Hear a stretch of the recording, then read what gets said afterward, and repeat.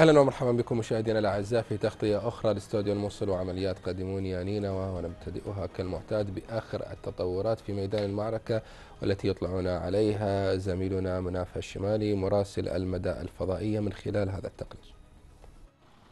لم يقتصر عمل الجيش العراقي وباقي الصنوف الأمنية على تحرير الأرض من عصابات داعش الإرهابية بل اقترن معه الجانب الإنساني في تحرير العوائل من قبضتهم وإيصالهم إلى المناطق المخصصة لإيواء النازحين. كاميرا المدى تعايشت مع القوات الأمنية أثناء إخلاء أكثر من 500 نازح من الأحياء الجامعة والنور والتأمين. ونقلهم إلى بر الأمان. إحنا مستمرين بالعمل لإخلاء العوائل النازحة واليوم كمان تلاحظون آه، نقلنا حوالي 500 عائلة آه، اللي نزحوا من احياء الموصل المحررة وننقلهم عن طريق آه، أما المخيم حسن شامي والعوائل اللي كانت يستخدمونها كدروع بشرية إلى مخيم القياره مخيم الجدعة العفو ذول من مناطق حمام العليل الشوره وإحنا مستمرين بهذا الأمر. صور إنسانية كثيرة جسدتها القوات الأمنية مع النازحين بعضها يفوق الوصف. حيث يتناقل الناجون قصصا عن دور القوات الأمنية في سبيل إخلاء العوائل وتخليصها. والبعض الآخر يتقاسم معهم طعامه وشرابه. وهذه القصص نادرا ما تجدها في أي جيش في العالم. تعامل الجيش العراقي ماكو يعني تعامل مع الاخ لاخوه تعامل زين وجابوا لنا اكل وجابوا لنا وعلاج وما الناس ما يعني ما قصروا يعني. التعامل جهاز مكافحه الارهاب يعني يا أخي يا أخي يعجز اللسان. يعجز اللسان عنهم عنهم معاملتهم وبشجاعتهم وببطالتهم مصطلحات ومسميات ضد الجيش العراقي كانت دواعش يبثونها بين المواطنين لمنعهم من الهرب والبقاء تحت سطوتهم. مستغلين العزلة الإعلامية التي فرضوها عليهم باسم الدين لكن العوائل التي وصلت صوب القوات الأمنية اكتشف كذب وزيف الإرهابيين. كله حكيهم غلط وما أكو هاك الشيء. والله ونحن غشعنا الجيش وغشعنا فوتتهم علينا وأمينين وبيوتنا يعني فتحناها لهم وطلعنا من البيت من أجلهم هي بس يرتاحون وهي مسيطروا على المكان. وإن شاء الله رب العالمين هو أرحم الراحمين. يحرسهم ويحميهم. والله يحفظهم ونحن كثير كثير فرحنا بجيتهم والله. تعاملهم معكم إنه والله الحمد لله. بعكس ما كانوا يحكون وسمعنا بس لا والله من تجي الحقيقة ماكو. الحمد لله والشكر. الله يحرسهم ويحميهم ويحفظهم. عملية إخلاء النازحين أثناء اشتباكات العمليات العسكرية تعد من أعقد المهام الموكلة بالقوات الأمنية العراقية. إلى جانب تحرير الأرض من عصابة داعش حيث يتصدر ملف السلامة المدنيين جميع الملفات الأخرى. من الموصل مناف الشمالي قناة المدى. شكرا للزميل مناف الشمالي على هذا التقرير وللمزيد أكثر أحبتي المشاهدين على آخر التطورات. ينضم إلينا عبر الهاتف مراسل المدى الفضائية من محافظة نينوى مناف الشمالي. أهلا ومرحبا بك مناف. نعم تحية لكم ولمشاهدين المدى حياك الله. مناف ضعنا في الصورة ما هي آخر التطورات في ميدان المعركة سواء بالجانب العسكري أو الجانب الإنساني؟ نعم نتحدث إلى جانب العسكري. العمليات متواصلة صوب مركز مدينة الموصل من قبل جميع قوات الأمنية العراقية. نتحدث إلى آه، جانب الأيسر تحديدا في شرق الموصل الذي تقودها قوات جهاز مكافحة الإرهاب بعد اكتمال المرحلة الأولى بدأت المرحلة الثانية للعمليات العسكرية تحرير حي فلاح الأولى والثانية آه لنا المدى مشاركة في هذه التحرير يوم أمس مع القادة العسكريين في داخل مركز مدينة الموصل نعم. حاليا بدأت العمليات العسكرية لتحرير أحياء كل من مثنى وحي البلديات من قبل قوات خاصة جهاز مكافحة إرهاب الأولى الذي تقودها قائد عمليات الأولى الخاصة فاضل البرواري وبدأت العمليات حاليا عمليات مستمرة في حي المثنى وحي البلديات وحي الجامعة العمليات مستمرة من قبل جهاز مكافحه الارهاب آه، إجلاء 300 عائلة محاصرة لدى عصابات داعش الارهابي هناك تنسيق مشترك ما بين ثلاث محاور للعمليات العسكرية. فوق 16 الذي تقودها في محور الشمالي. العمليات حاليا آه، مستمرة صوب مركز مدينة الموصل الذي تقودها فوق قطاع الجيش العراقي نتحدث إلى محور محور جنوب الشرق نعم. بعد وصول آه، فرقتين عسكريتين تابع لقيادة الشرطه الاتحاديه استاذا للفرقه التاسعه المدرع احتمال استعدادات لتحرير ما تبقى من الجنوب الشرق تحديدا الأحياء الوحدة وحي سومر هناك استعدادات واسعة لتحرير الأحياء المذكورة آه، فقط الإشارة من قبل القائد العام للقوات المسلحة. عمليات عمليات المشترك يكون هجوم واسع لوصولهم إلى جسر الرابع مشهور لدى اهالي الموصل. آه، تزامنا مع تقدم ملحوظ من قبل قوات حشد الشعبي في جانب الغرب مدينه الموصل تحديدا القرى التابعه لناحية اللي- التي تم تحريرها يوم امس سبع قرى حاليا قوات حشد الشعبي التي تبعد عن ناحية المحلبيه وقضاء اللعفر سوى سبع كيلومترات.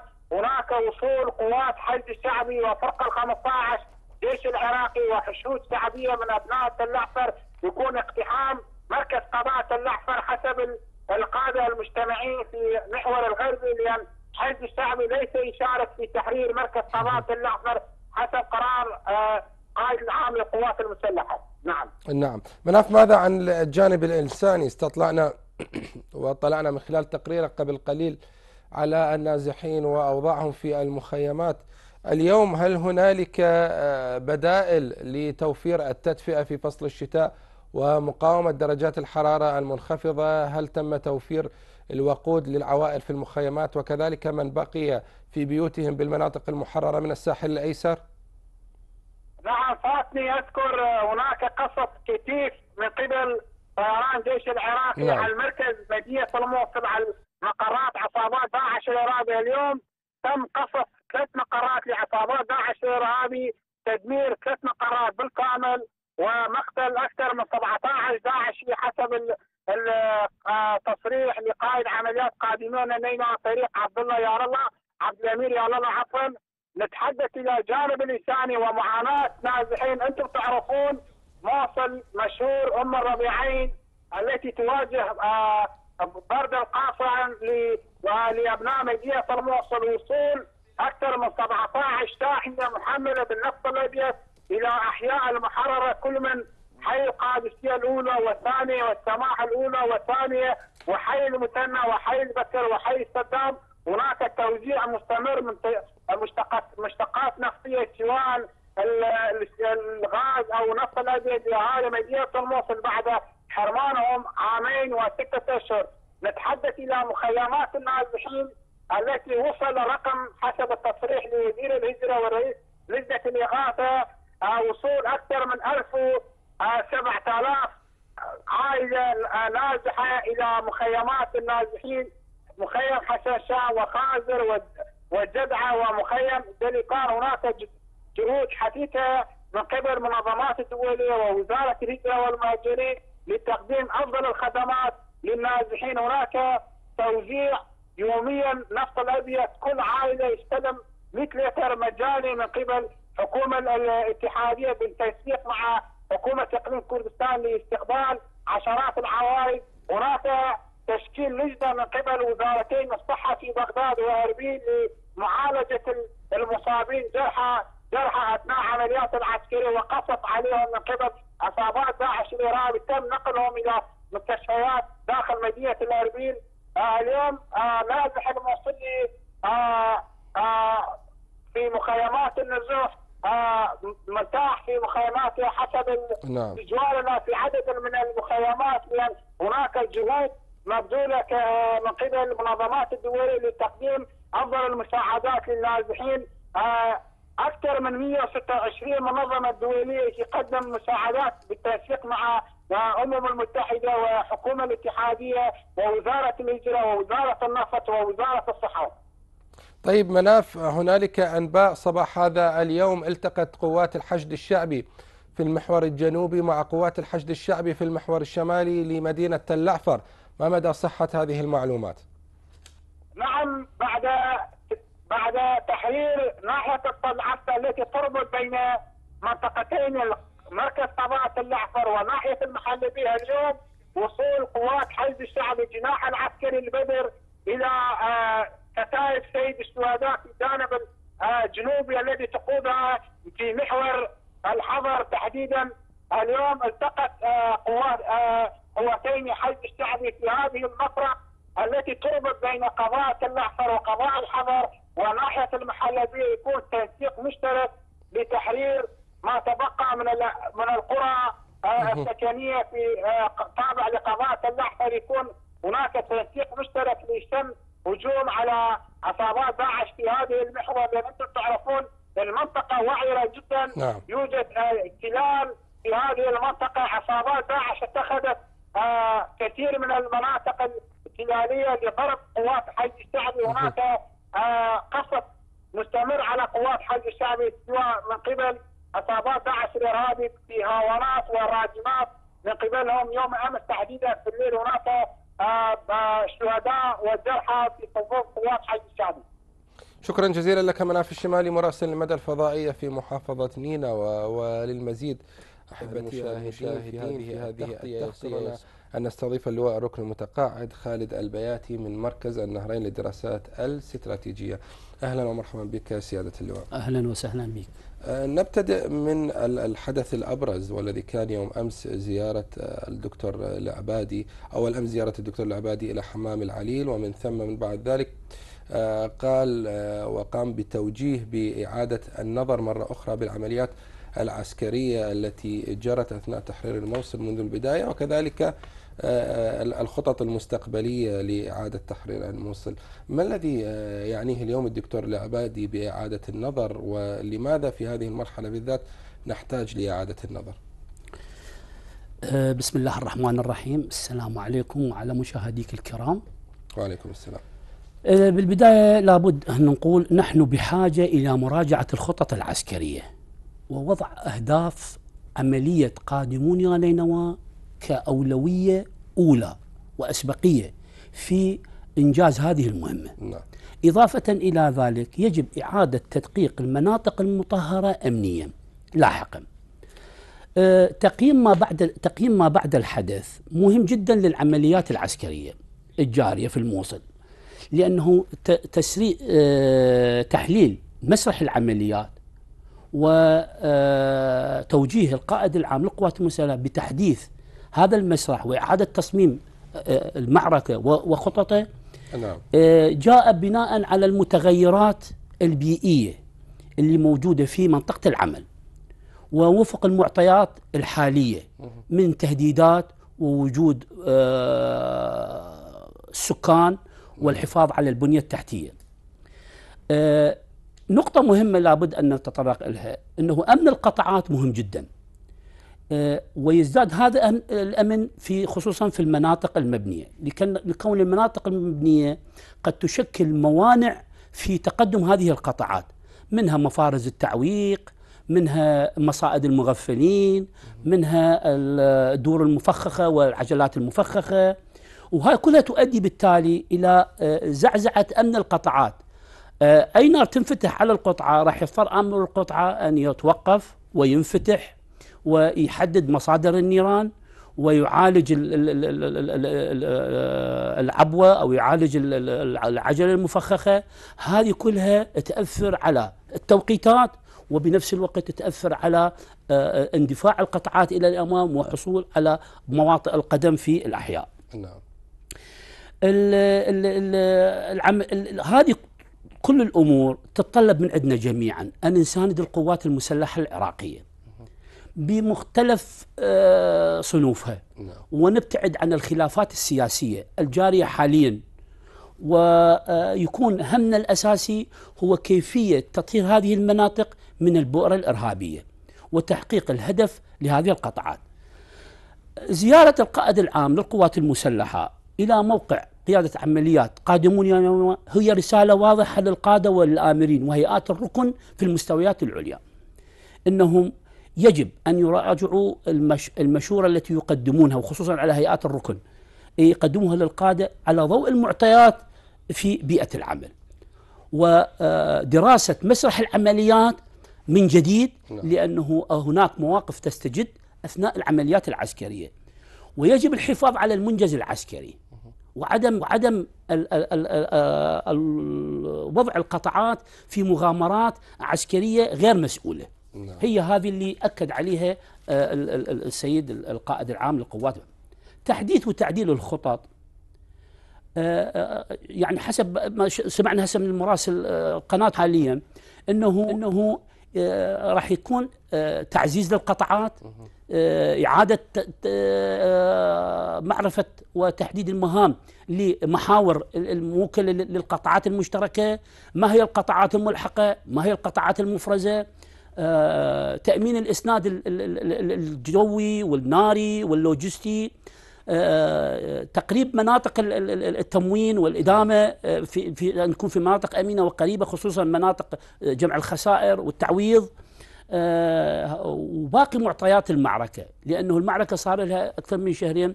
وصار تقدم أكثر فمناطق الإمداد ولها صارت بعيدة. يضطر القائد في هذه الحالة أن يحرك هذه بس لازم يحتاج لها إلى أن يأمن لها. ال- آه، أماكن أمينة آه، محصنة لغرض إدامة القطاعات. آه، هنا لابد أن أأكد على مسألة ضرورية جدا. واللي هي برزت في زيارة ال- القائد العام هي وحدة القيادة وحدة القيادة والسيطرة مهمة جدا في قيادة هذه التشكيلات من منابع مختلفة نعم. واللي هي كلها تصب في منظومة الأمن ال- ال- الأمن ال- العراقي آه، هذه القيا- القيادة ال- الموحدة آه، غرضها التنسيق بين هذه القطاعات ودفع العمليات المشتركة للأمام بأكثر من التلاحم والتآزر ووصولا إلى الهدف. طيب سيادة اللواء البعض فسر آه، دعوة رئيس الوزراء إلى إعادة النظر بالعمليات العسكرية أنه العمليات العسكرية وصلت إلى طريق شبه مسدود خصوصا مع التباطؤ بالفترة الأخيرة بالتقدم وتحرير بعض المناطق والقرى. حدثني عن التوقيتات هل بالفعل وصلنا إلى طريق مسدود؟ هل هذا التباطؤ مبرر؟ وفق السياق العسكري أم أننا نواجه آه، مقاومة شرسة من تنظيمات داعش الإرهابية؟ آه، هل هذا التفسير لكلمة إعادة النظر التي قالها رئيس الوزراء آه، تفسير بأنه وصلنا لطريق مسدود؟ هل بالفعل هذا التفسير واقعي ومنطقي واليوم؟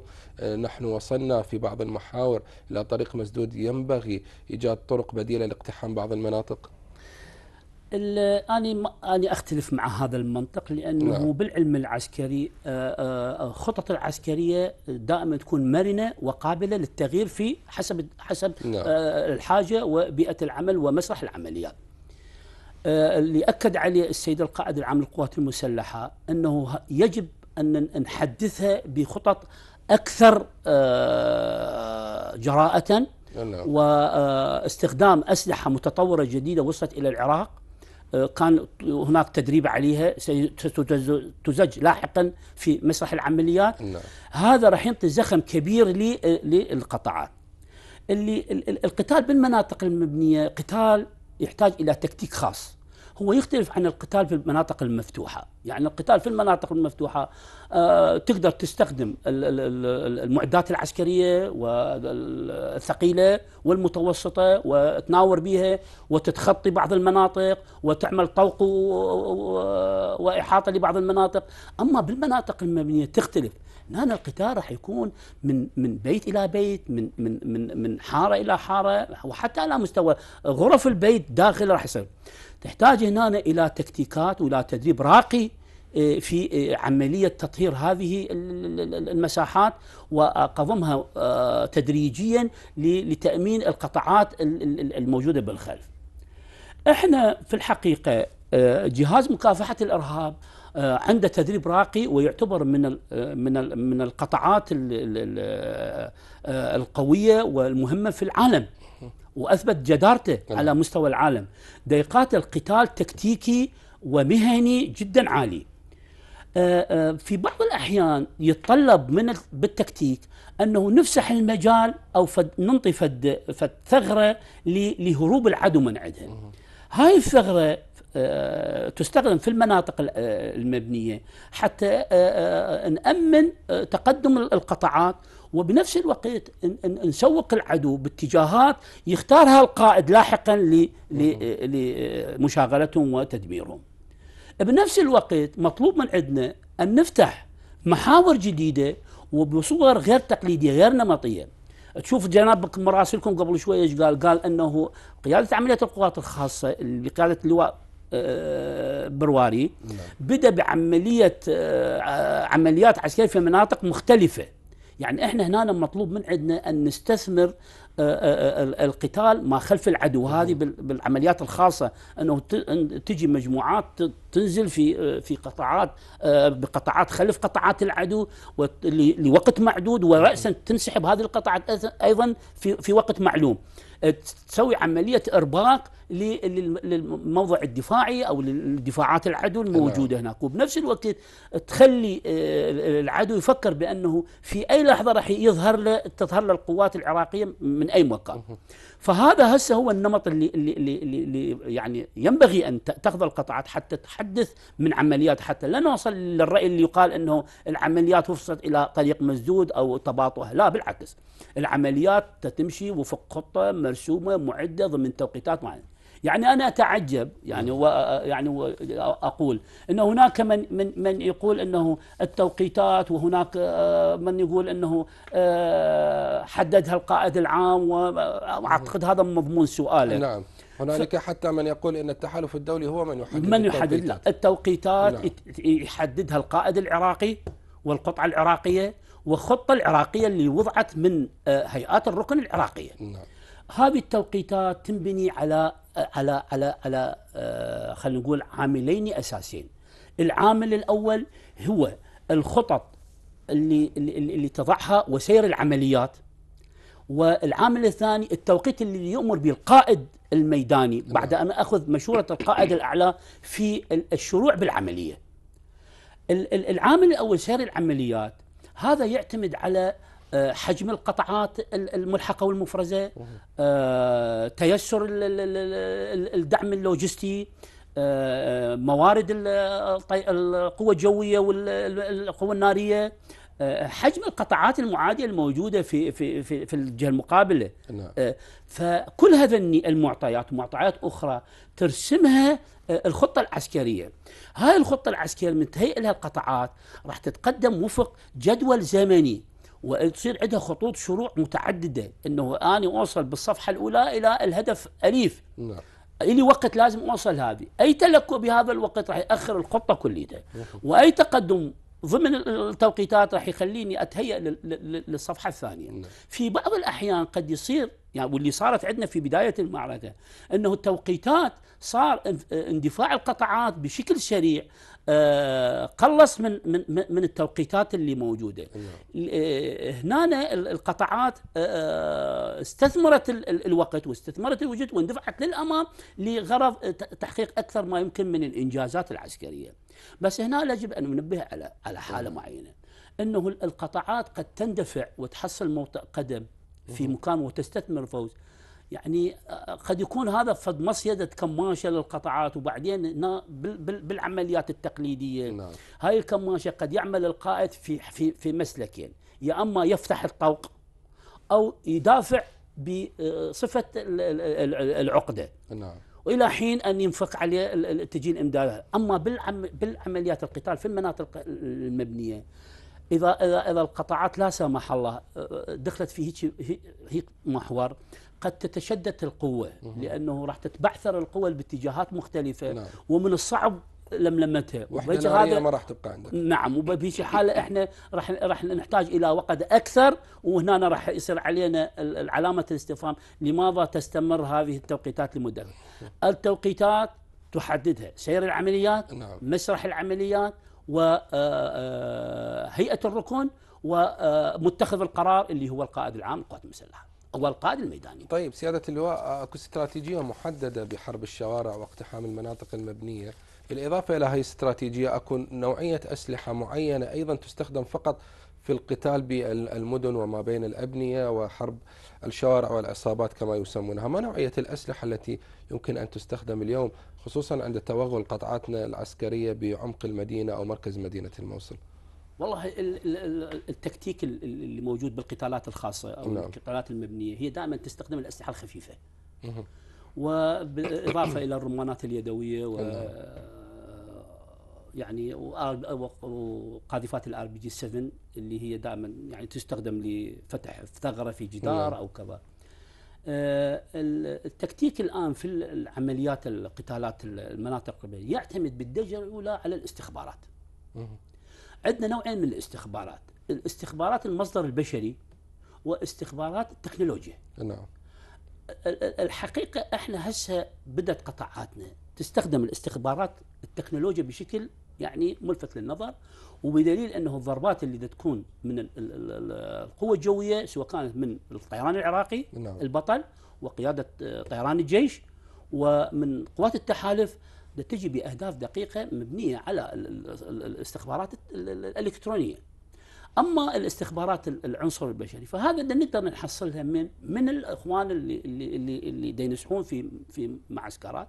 يصير عملية آه، الحصول على المعلومات واستنطاقهم ل- ل- لمعرفة ما يدور في المكان اللي آه، ينسحون من عنده لغرض تعديل الخطط لغرض تعزيز القطاعات الأمامية سيادة اللواء. بالحديث عن ال- المدنيين النازحين والاستخلاص المعلومات منهم والاستفسار والتحقيق البعض يعتبر أنه هاي انتهاكات في حق المدنيين وحقوق الإنسان إحنا اليوم القوات ال- الأمنية بمختلف صنوفها وتشكيلاتها هل هي مدربة للحفاظ على حياة المدنيين وعلى كرامتهم والتعامل معهم بالأسلوب الصحيح وفق الاتفاقات الدولية اللي تضمن هذا الشيء؟ يعني هل فعلا عملية التحقيق أو الحصول على معلومات استخبارية ممكن من النازحين والمدنيين يعتبر انتهاك بحقوقهم؟ ال- أنا أشكرك على هذا السؤال لأنه يجب أن يعرف الجميع أن التدريب مهم جدا للقطاعات. والتدريب من أهم الأمور التي آه، تأخذها آه، القيادات بالمستوى العالي على آه، ل- ل- لرصد آه، ساحة المعركة أو المهمة بقطاعات مدربة وتدريب راقي. نعم. والتدريب أيضا يقلل من الخسائر بالأشخاص وبالمعدات وأيضا يعطينا الاستخدام الأمثل للمعدة سواء على ال- الخواص الفنية مالته أو الخواص التعبوية. نعم آه، عندما بدأت عملية تهيئة آه، تحرير الموصل اتجهت ال- القيادة العسكرية في قطاعات ال- الجيش على تهيئة قطاعات خاصة لهذه المهمة وبالتعاون مع ال- التحالف الدولي. آه، بدأت عملية تدريب على آه، آه، كيفية استخدام الأسلحة وكيفية القتال بالمناطق المبنية و و والى آخره. لكن أضيف إلى هذا التدريب تدريب جديد. نعم. هو تدريب على كيفية التعامل مع المدنيين أو الأشخاص الذين يقعون في وسط العمليات العسكرية. العراق عنده التزام بتطبيق كافة المعاهدات الدولية والاتفاقيات ومنها معاهدات جنيف الأربعة والبروتوكول الأول والبروتوكول الثاني ومعاهدات الأخرى الخاصة بهذا الاتجاه. وبما أن العراق ملتزم بهذا ال- ال- الاتجاه تم تنفيذ برنامج تدريبي على هذه القطاعات اللي موجودة كانت مهيئة لتدريب تحرير الموصل على كيفية تطبيق القانون الدولي الإنساني في النزاع هذا القانون بثلاث مبادئ أساسية الضرورة العسكرية نعم. والتعامل الإنساني والتناسب بين الضرورة العسكرية والتعامل الإنساني. بمعنى أنه لما تبدأ القطاعات في تسجيل الأهداف سواء كانت في أهداف المدفعية أو أهداف القوة الجوية يجب أن يراعي هذه الثلاث مبادئ مبدأ الت- التناسب بين الضرورة العسكرية والضرورة الإنسانية هل الهدف له بعد استراتيجي عسكري بضربة؟ هل راح يأثر على ال- ال- ال- ال- المدنيين؟ ما ال- النتائج من هذا من هذا الهدف؟ هذا التدريب تدريب راقي وبمعايير دولية وأخذتها القطاعات. لذلك أنت تشوف قبل شوي عرض- في برنامجك أنه كيفية تعامل هاي القطاعات مع المدنيين. نعم. هذا التعامل له آه، خصوصية. إحنا في معركة الفل الرمادي ومعركة الفلوجة والآن في معركة الموصل. تعرف القطاعات تأخذ الدروس المستنبطة من معاركها فالدروس المستنبطة من معركة الفلوجة ومعركة الأنبار آه، آه، آه، بدينا نطبقها ونستفاد منها في معركة تحرير الموصل. بإنشاء معسكرات الإيواء بتنظيم العمل مع الجهات ذات العلاقة نعم. بتحديد المناطق اللي اللي يعني هي أنا ما برأيي ما أقول المناطق الآمنة لأن قد تكون آمنة من جهتنا بس غير آمنة من من نعم. من من من, من الإرهابيين. بس تحديد المسارات أو المحاور التي يخرجون من عندها المدنيين باتجاه ال- ال- ال- ال- المناطق الآمنة. وبالتالي سيوجهون إلى إلى مجمعات هاي المجمعات تبدأ القوات الأمنية بتدقيق ال- ال- ال- المعلومات لأنه تعرف أكو قاعدة بيانات خاصة عند ال- القو- ال- ال- القوات الاستخباريه والقوات الأمنية. لأنه, لأنه داعش, داعش قد قد أو الإرهابيين قد يحصل على موطئ قدم وملاذ آمن باللجوء والتغلغل ضمن هذه ال- ال- يتسلل معه. ويتسلل معه. وصارت آه، خلال آه، أحد ال- الإرهابيين فجر نفسه على مجموعة من ال- الأبطال آه، من قوات مكافحة الإرهاب. نعم. أثناء آه، اخلاءهم بعض العوائل وطلب آه، مي جاب للجندي مي وفجر نفسه آه، أمام الجندي بعد المعلم الجندي كان يقدم له مساعدة وبكل آه، يعني آه، إنسانية نعم. ومتجاوز كل ال- الاعتبارات الأخرى بأنه هذا يجب أن يتقدم له هذا من اجى؟ اجى من التدريب اللي اخذه هذا الجندي في آه، في في مناطق التدريب فالعراق دا ينفذ التزاماته الدولية في عملية آه، تدريب القطاعات بالحفاظ على المدنيين داخل آه، العمليات العسكرية أو أثناء العمليات العسكرية.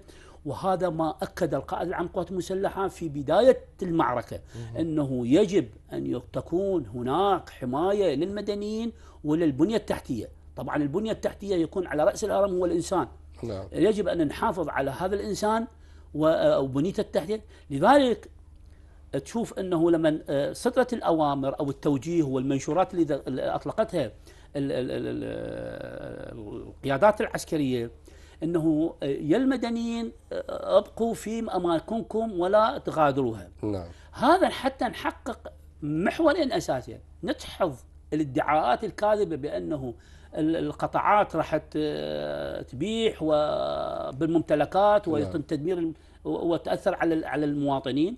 وبنفس الوقت يبقى المواطن محافظ على كيانه ومكانه وبدون اللجوء إلى ال- مناطق الإيواء والنازحين. راح تسألني تقول إنه النازحين يمرون ب ب بتحقيق واستخلاص معلومة استخبارية منهم مو بس النازحين نعم. يعانون من قلة ال- ال- ال- الامكانيات الغذائية والموارد هذا دا يجي سببه شنو؟ إنه المنظمات المجتمع المدني عدم تنسيقها ويا ويا ويا ويا, ويا القطاعات الأمنية باعتبار هي منظمات مجتمع مدني نعم فتجيب مساعداتها وتجيبها إلى مناطق قريبة وما عندها آه، ال database ال- ال- ال- المعلومات عن ال- عدد الأشخاص ال- أو عدد العوائل اللي موجود فعلى سبيل المثال من يجي جايب له هو مثلا ألف سلة والموجود 2000 أو 3000 نعم. فراح يصير قصور وراح يصير عتب وهذا تعطي مردود غير صحيح على ما تقوم به الدولة من إجراءات وخطط وضعت لهذا الغرض في عملية تأمين المواد الغذائية وتأمين آه، مشتقات الطاقة وشفت إنه آه، مراسله قبل قليل نعم. إنه قال هناك آه، عجلات محملة بال- بالنفط الأبيض وبالغاز متجهة باتجاه المناطق المحررة لغرض توزيعها آه، بالوقت هذا. لكن مع ذلك المناطق المحررة خلال اليومين الماضيين خصوصا تعاني من قصف بالهاونات من قبل تنظيم داعش الإرهابي كيف يمكن أن نضع حد لهذه ال- الضربات؟ والله الحقيقة ال ال ال آه، يعني آه، رأيي الشخصي نعم. أنه ال- المواطن آه، الشجاع في الموصل آه، يتحمل الكثير. وخل يتحمل هذا لأنه هذول دا يضربون هذه المناطق باعتبار أنه هذول موالين للدولة نعم. وطلعوا عن طور ما يسمى بدولتهم. فالمواطن الشجاع اللي باقي في بيته هو أكبر رسالة يعطيها لل- للإرهابيين بأنه باقي في وطنه وباقي في اللي هو الب- البيت والوطن. نعم. باقي في بيته وما يهتز لهذه ال- ال- ال- الضربات لأنه هذا مجرد يعني. شلون نقول بالعلم العسكري يسمونها نار إزعاج. قد توقع قنبرتين هنا أو قنبرتين هناك بس هذا ما يثني إنه الهدف الأساسي نعم. هو آه، لكن سيادة اللواء بقاء المدنيين في بيوتهم ما راح يشكل عبء على ال- ال- القوات المقاتلة والعمليات العسكرية الدائرة هناك يعني بهيك حالة يعني لازم ينحط بالحسبان وجود مدني بالمنطقة بالع- بينما لو كانت خالية براحته يتصرف مو آه أنا ليش قلت لك إحنا نستفاد من الدروس الم- نعم. المستمره أنت من تخلي السكان وراح ت... اي شخص راح يرجع لبيته راح يتهم ال- القوات الأمنية إنه. آه، بعثرت و آه، يعني انتهاكات لل- للممتلكات الشخصية. بس بقاء في بيته يأمن إنه لا راح يروح في مراكز الإيواء نعم. ولا في ال- راح يصير نازح عن منطقة. وحتى لا تتغير طبوغرافية ال- التش- التشابك الاجتماعي. نعم. يعني هذا ما راح يطلع من بيته ما راح يقدر يرجع. اللي يقول لك أنا أرجع على شنو؟ نعم. آه، راح أجي القيه مهدم القيه مسروق القيه محروق بينما هو قاعد بيه محافظ عليه. نعم. بدليل إنه أنت آه، آه، الإرهابيين طلبوا من عدد عوائل أنه يخلون بيوتهم حتى يعطوها كمقرات هذه رفضوا واستخدموا معهم العنف. ال- ال- الإرهابيين في سبيل أنه يحصلون على هاي الأماكن اللي يعتبر- يعتبروها مناطق إزعاج للقطعات أو مناطق تعويق للق- للقطعات أو وضع بها بعض ال- القناصين لغرض تأخير تقدم الق- القطعة.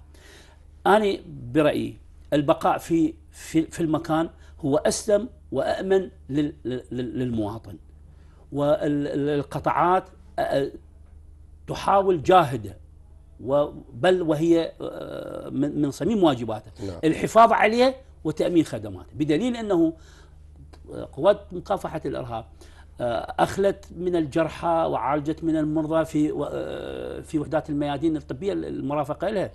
آه، قدمت ال- ال- المياه الصالحة للشرب وحتى يعني آه، يعني يعني يعني قد أكون مبالغ آه، تقاسموا آه، آه، وجبات الغذاء التي ترسل لهم من المن- مناطق الإدامة مع الناس الموجودين في المنطقة اللي هم موجودين بها لحتى يعززون ال- الثقة نعم. هذا التعامل واستقبال المواطنين لل- لل- لل- لل- للجيش وللمؤسسة الأمنية خير دليل على تلاحم ال- ال- الشعب مع القوات المسلحة والخ- والخروج والخلاص من من من داعش.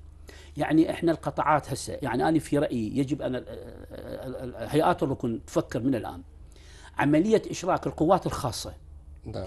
وتعزز بقوات النخبة من الشرطة الاتحادية وقوات النخبة من الحشد الشعبي في القيام بعمليات نوعية في مناطق منتخبة العدو. لإرباك العدو. نعم.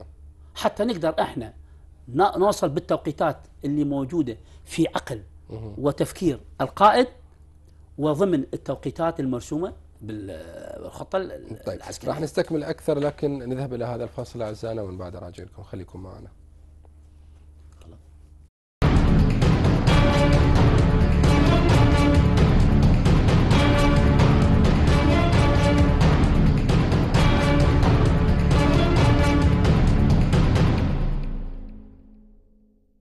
رحب بكم مجددا أعزائنا المشاهدين نستكمل معاكم الجزء الأول من حوارنا لهذا اليوم. نرحب مرة أخرى باللواء الركن المتقاعد خالد البياتي. مجددا أهلا ومرحبا بك. أهلا بك. بدينا العمليات العسكرية قادمون يا نينا وكان فصل الشتاء بعد هين ويانا شوية. يوم بعد يوم ال- ال- الأحوال الجوية بدأت تكون أكثر قساوة. يعني في بغداد فكيف تكون بالمنطقة الشمالية وبالموصل؟ يعني ضباب وأمطار ودرجات حرارة منخفضه تأثر على المقاتلين وحتى على العوائل والمدنيين الموجودين هناك. تأثير الظروف الجوية وأحوال الطقس كيف يكون على ال- المعركة وانعكاساتها سيادة اللواء الحقيقة إحنا ذكرنا في حديث سابق إنه التدريب مهم جدا للقطاعات. نعم. وعليه القطاعات متدربة للعمل في كافة الظروف. سواء كانت ظروف طقس حار طقس بارد أمطار فالقطاعات مدربة للعمل. وأيضا استخدامات الفنية للسلاح أيضا بها مهارات استخدام في هذه الظروف. في تعرف درجة حرارة تحت الصفر أك- أكثر من الدرجة المئوية. فكيف يتعامل مستخدم السلاح مع هذا السلاح بال- بال- بالخواص الفنية. آه، ال- الظروف الجوية بشكل عام لا تؤثر على عمل القطاعات. لكن تؤثر على ال- المدنيين. نعم. تؤثر على المدنيين بشكل خاص في مناطق ال- النزوح لأنه الأمطار ال- الكثيفة وانخفاض درجات الحرارة وهي خيمة. خيمة يعني آه، أين ما تحكمها ف تفقد من من درجة الحرارة. ويمكن ال- لاحظت جنابك إنه صارت حوادث حريق و آه، وفاة بعض الأطفال نتيجة ال- آه، رداءة الجو. إحنا ليش بدنا نأكد إنه يبقى المواطن في بيته؟ نعم لأنه هو آه، آه، آه، مكيف نفسه على آه، كيفية التعامل مع الظروف الجوية والموصليون مشهورين إنه آه، دائما يحسبون آه، للتوقيتات اللي يكون بها آه، صعوبة ال- العيش. فبقائهم في في في في الدور آه، يأمن لهم آه، كثير من آه، مساوئ الطقس. آه، بالنسبة للقطاعات القطاعات هي مدربة. نعم. والقطاعات عندها سياقات عمل بالظروف الجوية الغير اعتيادية كيف تعمل وكيف تدام. وما في مشكلة يعني في ال- بالنسبة للقطاعات العسكرية مثل ما ذكرت لك المشكلة راح تكون في آه، مناطق ال- الإيواء والنازحين. آه، إحنا يجب أن نعرف أنه ال- القطاعات لا تعيقها أي ظروف جوية وحتى آه، سيادة اللواء على, على ذكر. على ذكر القطاعات العسكرية هنالك من له رأي عسكري ويقول أنه قوات مكافحة الإرهاب هي القوات المدربة والمؤهلة الوحيدة لخوض معارك العصابات في المناطق والمدن وما بين المباني وبقية القطاعات العسكرية والتشكيلات المشاركة اليوم في القوات العراقية غير مدربة لخوض حرب الشوارع ما تعليقك على ذلك؟ آه، بالعلم العسكري يدرب العسكري على صفحات القتال. نعم. اللي هي دفاع هجوم تقدم وانسحاب والقتالات الخاصة. القتالات الخاصة تشمل سياقات ال- ال- ال- العمل في ال- المناطق المبنية والصحراء والغابات. فالقطاعات مدربة لكن قوات مكافحة ال- ال- ال- الإرهاب. هي لها تخصص في هذا المجال. لأن هناك تقنيات تستخدمها هذه القطاعات في في عملياتها الخاصة. وبعدين هي تكون عندها درجة مناورة جدا عالية. مهيئ لها آه، عملية آه، الحمل آه، إنذارها سريع. نعم. معسكراتها ثابتة وموزعه في في مناطق البلاد. ويقدر يحرك من أي مكان هذه القطاعات. قطاعات ال- ال- ال- ال- ال- العسكرية هي قطاعات تقليدية مبنية على الأوامر وسياقات العمل الثابتة وهاي كلها تتدرب عليها القطاعات وقت السلم حتى تتجاوز الأخطاء في في في زمن الحرب. القطاعات كلها مدربة على المناطق ال- القتالات الخاصة ومن ضمنها القتال في المناطق المبنية لكن جهاز مكافحة الإرهاب له تدريب راقي في هذا المجال باعتبار هو قوات النخبة ومهمته هو مكافحة الإرهاب نعم. هل ستحرر الموصل بالقريب العاجل عامل الوقت هنا واستمرار أمد المعركة يعمل بصالح القوات العراقية أم بجانب العدو تنظيم داعش الإرهابي قبل بدء عملية تحرير الموصل كان داعش والماكينة الإعلامية يروج أن أنه إذا ما فكرت القوات العراقية بتحرير الموصل فإن المعركة ستستمر من سنة إلى سنتين ولن يكون الاقتحام بهذا الشكل ال- اليسير. وانهارت جميع هذه الأساطير التي ذكرها داعش اليوم خصوصا على الساحل الأيسر. لكن تعتقد أنه المعركة ربما ستستمر إلى سنة ربما؟ ال- ال- ال- ال- أنا ذكرت لك التوقيتات. نعم. التوقيتات تعتمد على خطط الخطط اللي تضعها هيئة الركن. هناك خطط موضوعة لتوقيتات قصيرة الأمد وهناك خطط موضوعة لتوقيتات متوسطة الأمد. وإذا ما كان الأمد طويل ما أعتقد الأمد طويل. عامل أنا- الوقت أنا في في في صالح العراقيين يعمل؟ في رأي نعم، في نعم. رأيي في رأيي آه، الوقت وقتنا لا وقت نعم. الانتخابات الأمريكية ولا وقت التحالفات الدولية. الوقت وقتنا. الأرض أرضنا والقادة ال- ال- ال- هي- آه، الخطط خططنا والموارد عندنا فنحن نتحكم بالتوقيت. وكل ما كنا بطيئين ومتأنين في رأيي الخاص نعم. في العمليات كنا نحقق انتصار رصين لا يجرنا بالتالي إلى آه، عواقب لا, لا, لا يعني إلى اتجاهات لا تحمد عقباها لأنه قد يكون ال- ال- التقدم سريع لكن إذا أني آه، ما أمنت أمن القطاعات الموجود بالخلف آه، قد آه، اللي يترك السلاح أمام قطاعاتنا وتعبر قطاعاتنا قد يرجع ير- يرفع. من الخلف على قطاعاتنا سيادة اللواء أي مرحلة أصعب التقدم وكسب ال- ال- الأرض وإيجاد موطئ قدم أم عملية تأمين ظهر القطاعات الأمنية والمناطق المحررة بالسابق؟ هي كلها مهمة. نعم. وهي حلقة مترابطة واحدة بعد الأخرى. أنا ما أقدر أحقق موطئ قدم وأستثمر الفوز وأطلع للأمام إذا ما كان عندي قاعدة أمينة. والقاعدة الأمينة يجب أن تؤمن آه، تأمين كامل لأنه أي خرق بالقاعدة الأمينة راح يربك القطاعات المتقدمة. وعليه هي حلقة متسلسلة. أمن القطاعات مهمة جدا صعبة للقائد لأنه عنده قطاعات راح تتقدم للأمام نعم. عنده قطاعات راح تبقى آه، في في في مناطق الاجتماع عنده قطاعات آه، موجودة في في مناطق التموين وال- والإدامة آه، ذهاب وعودة القطاعات في نقل وإخلاء. نعم. هاي كلها يريد لها امن فإذا ما تأمن المنطقة ب- كلها ما تقدر هاي القطاعات تعمل بحرية. وعليه في رأيي إنه آه، ما نروح نستعجل في في العمليات. آه، خلينا نبطأ لكن نأمن آه، وجود قطاعاتنا ورسم الخطط بتروي وأمان لأنه آه، عندما تنفتح النار على أي قطعة راح يحتاج عنده وقت أن ينفتح وأن ي- يستطلع. وأن يحدد مصدر النيران ويقدر موقف تقدير موقف بسيط وسريع لمعالجة هذه. هذا إيش قد يستغرق من الوقت؟ نعم. إيش قد راح يأخر القطاعات البراء يظل منتظرة على مود حتى تطلع للأمام؟ وبنفس الوقت إذا عالج وطلع هو للأمام لازم يأمن ال- ال- المساحة اللي اللي, اللي, راح تفوت بها هاي القطاعات. عليه لا نستعجل والبطء هو لصالح القطاعات وليس لي إحنا اليوم نعاني من مشكلة بهذا الجانب تأمين ظهر القوات المتقدمة.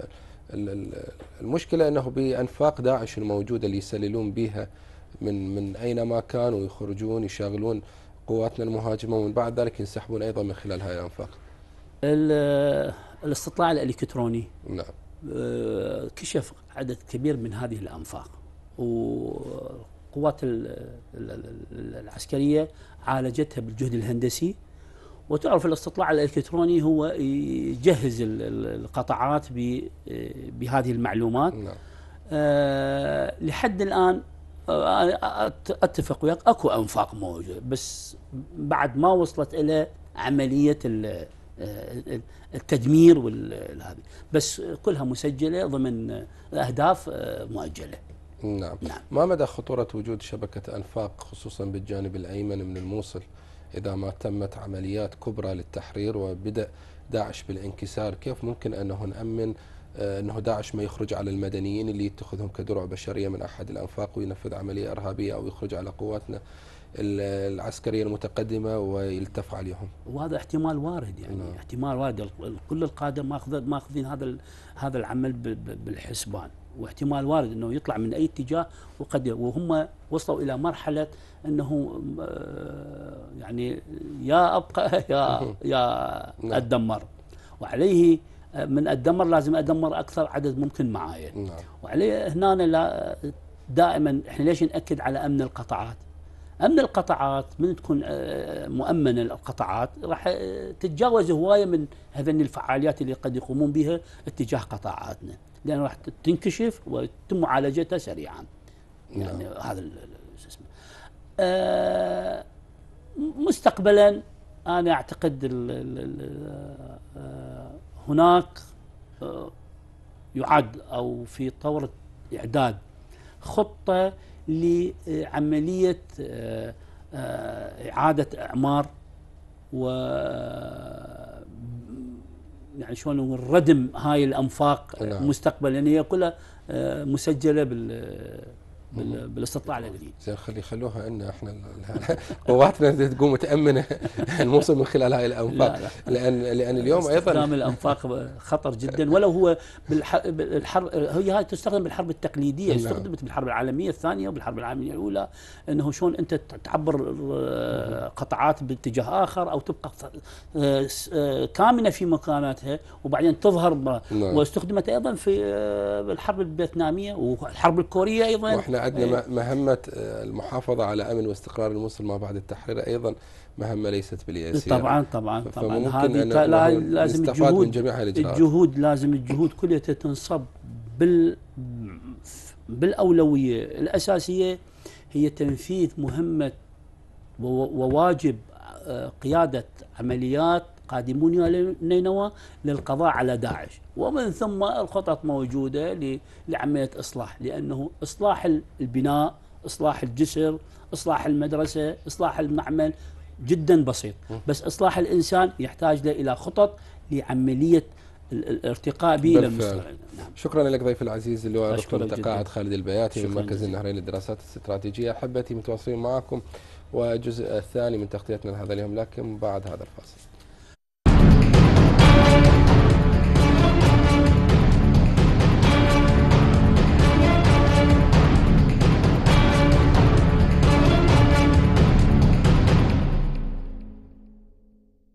رحب بكم بالجزء الثاني من تغطيتنا لهذا اليوم أعزائنا المشاهدين واللي راح يرافقني بها ضيفنا العزيز بالإستوديو الاكاديمي الدكتور مهند الزبيدي. أهلا ومرحبا بك دكتور.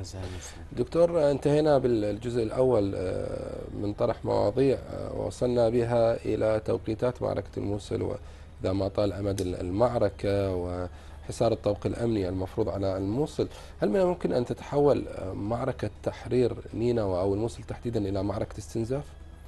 يعني التكتيك الذي اتبعه تنظيم داعش في معركة الموصل واقعا يقرأ من أنه هو حرب استنزاف يريد أن يستنزف قوات النخبة العراقية في معارك وبالتالي يكون عاملين مؤثرين على قواتنا العسكرية. العامل الأول هو عامل الإجهاد باعتبار أنه المقاتلين لفترات زمنية طويلة تجهد المقاتل في هذا الموضوع. والعامل الآخر الذي يراهن عليه تنظيم داعش الإرهابي من أنه هناك بعض الدول الإقليمية التي يستطيع الاستماع لأصوات إعلامية غير صحيحة وبالتالي إلى معلومات مخطوطة عن ارتكاب مجازر أو حقوق إنسان نعم. أو ما شابه ذلك بالتالي هذه المعركة تريد آه، تنظيم داعش الإرهابي وبعض الدول الإقليمية جر المعركة في الموصل إلى آه، بس دكتور بالنسبة للعامل الأول الجهد والتعب وقلة الإمدادات مثل ما هي نقطة علينا هي على تنظيم داعش أيضا المقاتلين راح يجهدون موارد التنظيم أيضا راح تستنزف فبالتالي كيف ممكن أن يراهن على هذا العامل؟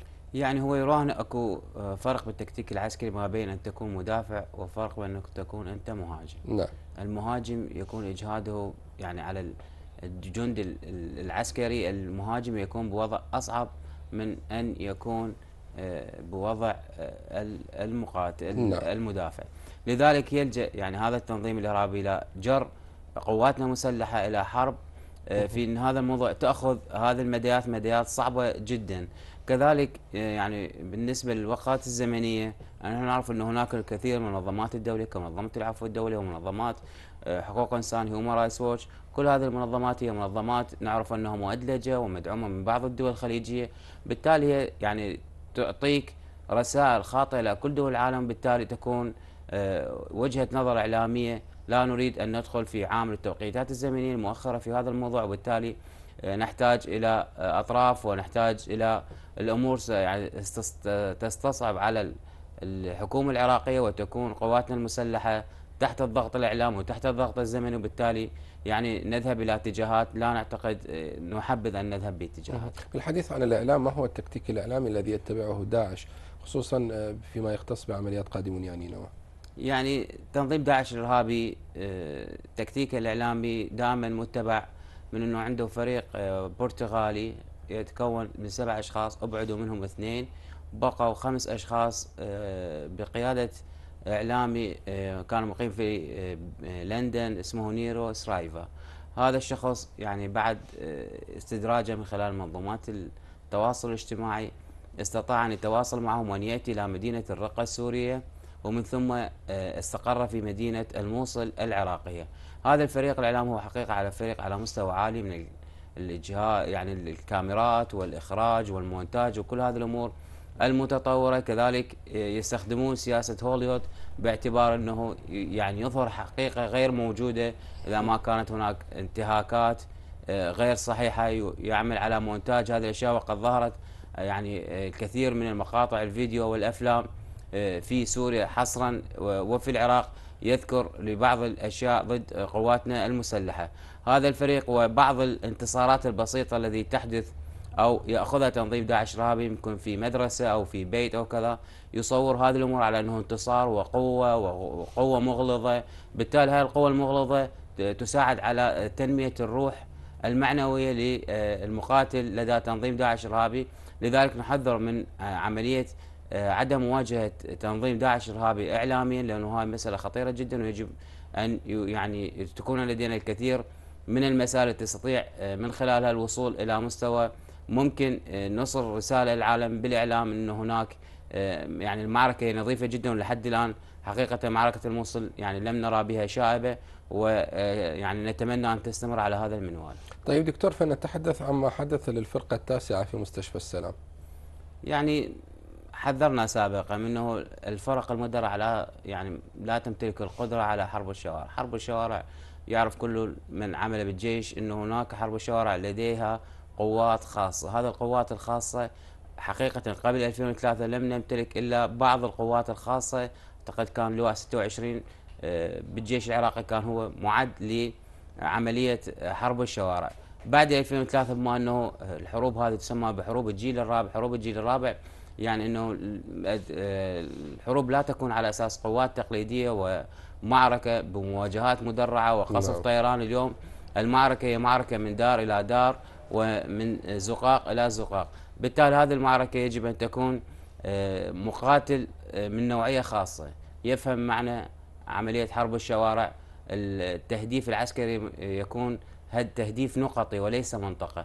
يعني الأسلحة الثقيلة تستهدم أهداف منطقة من مدفعية أو قذائف الهواء نعم. تأخذ هدف منطقة اليوم إحنا نتكلم عن معركة الموصل باعتبار أن هناك يعني قناصين والكثير من أفراد تنظيم داعش الارهابي متمترس في داخل أحياء سكنية إن يكون هناك المقاتل يستخدم أهداف نقطية، أهداف النقطيه لا تكون إلا على شكل أسلحة خفيفة يمتلكها هذا المقاتل، لذلك نحتاج إلى نوعية خاصة من هذه المقاتلين.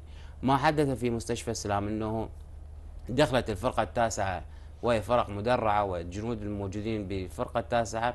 يعني بعضهم مشات والأكثر من عندهم هم الجندي اللي يكون صنفه درع العملية يعني الروح المعنوية والاندفاع الزايد دخلوا في اتجاه مستشفى السلام ومن ثم بدأ تنظيم داعش الإرهابي كأنما استدرجهم إلى نقطة معينة. وبدأ بمهاجمتهم من خلال آه، سيارات مفخخة وأحزمة ناسفة وعبوات آه، ناسفة. بالتالي يعني أنا أعتقد كان المفروض أنه تستخدم آه، يعني في هذه المعركة معركة رأس الرمح من خلال شرطة اتحادية أو لواء من رد السريع يكون رأس الرمح في عملية الاقتحام وتكون الفرق المدرعة هي قوات خلفية مساندة لهذه القوات المهاجمة. بالتالي يعني لا نستطيع الخروج يعني من هذا المأزق إلا بقوات مرنة على الحركة. هذه القوات المرونة لا تمتلكها الفرقة التاسعة باعتبار الفرقة المدرعة والفرق المدرعة عملية حركتها كما تعرف تكون صعبة جدا ليس كما موجود في حرب الشوارع. في حتى في حرب الشوارع يعني الجندي يكون على مستوى عالي من الذكاء من عملية الاقتحام والدخول إلى البيوت والدخول للمستشفيات التي قد تكون مفخخة وبالتالي تكون كما يسمي آه، يعني بعض الأفراد من هناك مصادر مغفلين وأنا أعتقد يعني ما حذرنا منه قد وقع ولكن أعتقد أن هناك تصحيح في خطط الجيش العراقي بما لا يدع أنه ننزلق في هذه المنزلقات مرة أخرى. كبدنا خسائر كثيرة بالتالي نعم. في مستشفى السلام، تعتقد زيارة الدكتور حيدر العبادي القائد العام للقوات المسلحة رئيس مجلس الوزراء إلى آه، محافظة نينوى والاطلاع على سير عمليات قادمون يا نينوى وذكر يوم أمس إنه الخطط بحاجة إلى إعادة نظر. آه هذا الرأي جاء بسبب ما حدث للفرقه التاسعة في مستشفى السلام؟ يعني نقطة تحسب لدولة رئيس الوزراء من أنه متواجد في الخطوط الأمامية للمعركة ولا يعني هذه ليست المرة الأولى وإنما في معركة الفلوجة وفي معركة تكريت تواجد الدكتور حيدر العبادي في الخطوط الأمامية للمعارك. نقطة تحسب له من عملية تواجده المستمر في الخطوط الأمامية والاطلاع ميدانيا بعيدا عن التوصيلات التي قد تكون في بعضها يعني غير منطبقة مع الحقيقة 100% فالمشاهدة بالعين المجردة هي أفضل من أن تكون عملية تقييم لما هو موجود.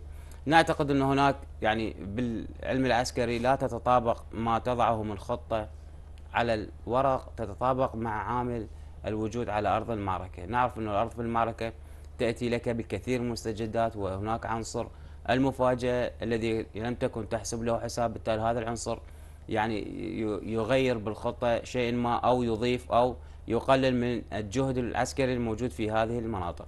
نعتقد أنه الخطة التي وضعت خطة مرنة ولكن الخطة يعني سبب عدم تطبيقها للتوقيتات الزمنية أنه باقي المحاور لم تتقدم لكي يكون عملية إطباق على تنظيم داعش الإرهابي اليوم تنظيم داعش الإرهابي يمتلك المساحة الكبيرة في عملية الحركة باعتبار عملية التقدم الأكبر كانت هي من قبل جهاز مكافحة الإرهاب ولكن المحور الشمالي والجنوبي والشرقي لم يأخذ عملية الإطباق ومحاصرة تنظيم داعش الإرهابي في مناطق ضيقة وبالتالي يكون عنده خيارات صعبة في عملية الهروب أو مواجهة قوات أو مصادر نيران تكون متنوعة وليس من نوع واحد. هذا الموضوع لحد الآن لم يتحقق في المعركة بالموصل. بالتالي هذه القوات امتلكت يعني آه، تنظيم داعش الإرهابي عفوا امتلك آه، مساحات للحركة وامتلك مساحات لكي يناور من خلال أنفاق تكتيكية أو من خلال فتحات موجودة في داخل المنازل ينتقل من خلال من منطقة إلى منطقة أو من زقاق أو من شارع إلى آخر. ماذا عن المحور الشمالي؟ يعني المحور الشمالي لحد الآن خصوصا محور آه، قوات البيشمركة يعني في اليومين الأولين فقط كان هناك عملية تقدم وسير باتجاه صحيح جدا وكنا نتفائل خيرا من آه، قوات البيشمركة باعتبار أيضا هي قوات مدربة بالجبال وتعرف عمليات القنص ولديهم مهارة عالية جدا في حتى حرب الشوارع. نجد أنه آه، يعني قوات البيشمركة لم تتقدم يعني منذ معركة الموصل في اليومين الأولين فقط ولحد الآن لم نشاهد أي عملية تمحور أو تقدم باتجاه مدينة الموصل والضغط على تنظيم داعش الإرهابي لكي ينزل ويقلل يقلل الضغط من الساحل الأيسر. ونذهب باتجاه الساحل الأيمن وتكون عملية إرباك كبيرة جدا لتنظيم داعش الإرهابي. تأخر المحور الشمالي بشكل كبير جدا ونعتقد أنه حتى زيارة وزير الدفاع الأمريكي الأخيرة أشتون كارتر ذهب إلى إقليم كردستان لكي يتناقش مع قادة قوات البيشمركة على هذا الموضوع وكيفية آه، يعني قوات البيشمركة هل هي مهيئة للدخول إلى مدينة الموصل أم غير مهيئة؟ ونعتقد أنه يعني حتى القوات الأمريكية يعني إذا وجدت صعوبة في المحور الشمالي قوات البيشمركة توقعاتنا الشخصية ستكون هناك آه، خيارات للقوات الأمريكية من خلال حتى لو استدعت الضرورة بإدخال قوات آه، برية مقاتلة تكون على شكل حرب شوارع مدربة بشكل يعني جيد جدا ونستطيع أن نحسم بهذا الموضوع إلا لحد الآن. الحكومة العراقية لم تطلب من القوات الأمريكية عملية التدخل في معركة الموصل فقط القصف الجوي. نعم. ونعتقد أنه إذا كانت يعني هذا المحور قوات البيشمركه غير قادرة عليه نحتاج الكثير من القوات العراقية نستطيع آه، المناورة بها وأخذ هذا المحور. ولكن هذا عملية تغيير القوات في أي معركة تحتاج إلى فترة طويلة زمن يعني من الزمن وبالتالي تكون عمليه يعني صعوبة تكتيكية في عملية الدعم اللوجستي لهذه المحور، المحور الشمال حقيقة يؤشر بأنه محور أضعف المحاور موجوده في معركة الموصل يجب ان يعاد النظر من قبل القائد العام للقوات المسلحة وقياداتنا المسلحة في قيادة العامة المشتركة وهي قوات يعني قادة على مستوى محترف جدا وبالتاكيد يعني هذا الخلل هم مشخصينه. بالتالي نحتاج إلى عملية إعادة النظر في هذا المحور. محور آخر أيضا فيه تلكؤ هو المحور الجنوبي للساحل الأيمن. ما سبب عدم تقدم قواتنا الأمنية حتى الآن في هذا المحور خصوصا إنه هو محور مهم يحتوي على معسكر الغزلاني ومطار الموصل. يعني هذا المحور أخذته الشرطة الاتحادية من آه، بداية معركة الموصل. الشرطة الاتحادية آه، تمتلك تكتيكين التكتيك الأول أنه لديها آه، يعني بعض الألوية مدربة على حرب الشوارع وصنف المشاة والمحور الآخر لديها ألوية مدرعة. بالتالي آه، الشرطة الاتحادية تحاول الوصول اليوم إلى معسكر الغزلاني باعتبار أنه يعني هذا المعسكر قد أخذ محور آخر لأنه تبحث هذه القوات عن مناطق تكون مفتوحة بقوات مدرعة تتمكن من خلالها الذهاب باتجاه مساحات مفتوحة والوصول آه، بقواتنا إلى آه، مجاور للنهر وحصر تنظيم داعش الإرهابي في هذا المحور. نعم راح نستكمل معك الحوار لكن أعزائنا نذهب إلى فاصل قصير وراجع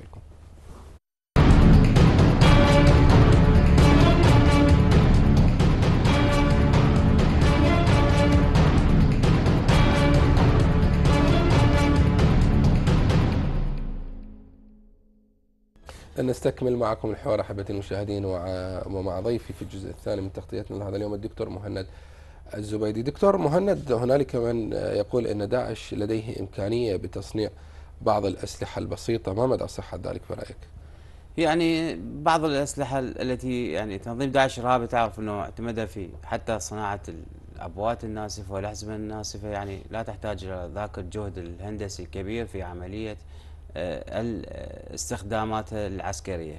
تنظيم داعش الإرهابي نعرف أنه الكثير من القيادات السابقة نظام البائد وبعض الخبراء كانوا موجودين في التصنيع العسكري العراقي قد التحقوا بهذا التنظيم الإرهابي بالتالي هذه الخبرات هي أصلا موجودة عند يعني منتشرة بالعراق بشكل غريب عجيب. ولكن هو ما يتساءل هنا المشاهد في هذا الموضوع في عملية الصناعة كيف استطاع تنظيم داعش الإرهابي من عملية الحصول على أطنان من مادة السي 4 ومادة المواد الأخرى المتفجرة في عملية صناعة العبوات الناسفة هنا نطرح تساؤل باعتبار أن هناك هذه يعني الديناميت والمادة السي 4 كلها يعني مواد محرمة دوليا بالتالي عملية المتاجرة بها حتى موجودة يعني في السوق السوداء متاجرة بها محرمة دوليا ولا تخضع إلا لموافقات دولية في عملية استيرادها ومعرفة مصادر استخدامه. كيف استطاع هذا التنظيم من الحصول على آلاف الأطنان من مادة السي 4 والديناميت وبالتالي استخدامه في آه، تصنيع بعض قنابل الهاون أو تصنيع عبوات ناسفة وأحزمة أو ما شابه ذلك. هناك تساؤلات كثيرة يعني بالتأكيد نجد أنه وراء تنظيم داعش الإرهابي آه، دول وراء تنظيم داعش الإرهابي مصالح دولية وراء تنظيم داعش الإرهابي مخابرات إقليمية. هذه المخابرات تستطيع الوصول إلى تنظيم داعش الإرهابي وبالتالي إمداده بهذه المواد وهنا ما يثير علامات الاستفهام أي الدول التي تحتضن هذا التنظيم وتمده وما هي أهدافها وماذا تريد من منطقة جعلت منطقة الشرق الأوسط منطقة مشتعلة بتنظيم إرهابي لم يكن أحد يتوقع أنه هذا التنظيم الإرهابي قد يصل إلى مفهوم التوحش بهذا الشكل الذي يعني يحكم به ويطبق عليه على الكثير من المناطق آه، في العراق وسوريا وأكثر من 30 دولة. سؤال يحتاج الكثير من الأجوبة. نعتقد أن هناك يعني كثير من آه، مخابرات عالمية ومخابرات إقليمية استطاعت توظيف هذا التنظيم لأهداف سياسية واستراتيجية تظهر بعد فترة قصيرة إن شاء الله. جميع المراقبين يتفقون على أن معركة الموصل قد وحدت الكتل السياسية وكانت نعم. هنالك تخوفات ما بعد عملية التحرير. يعني الموصل جمعتنا وحدتنا فإذا ما انتهت العمليات العسكرية ستعود الخلافات ما بين الكتل السياسية لكن يبدو أن هذه الخلافات قد بدأت مبكرا. معركة الموصل مستمرة يعني وربما وحدة الصف بدأ فيها بعض الخلاف.